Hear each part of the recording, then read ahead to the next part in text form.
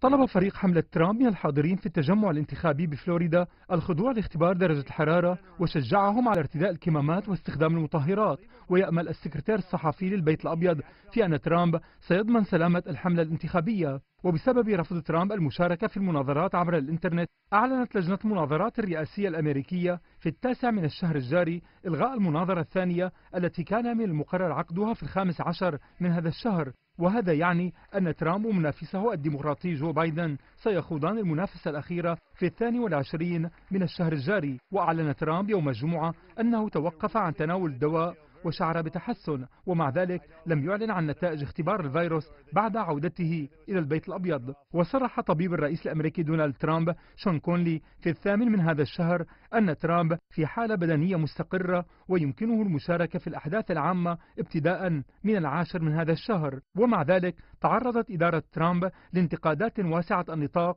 لإهمالها في ارتداء الكمامات والحفاظ على التباعد الاجتماعي في البيت الأبيض. وذكرت وسائل الإعلام الأمريكية أن تجمع حملة ترامب في مينيسوتا في الثامن عشر من سبتمبر الماضي قد أدى إلى إصابة تسعة أشخاص بالمرض. كما انتقده بايدن يوم الجمعة مشيرا إلى أن سلوك ترامب الشخصي منذ إصابته له تأثير مدمر على الحكومة ولم يتخذ ترامب التدابير اللازمة لحماية نفسه أو الآخرين.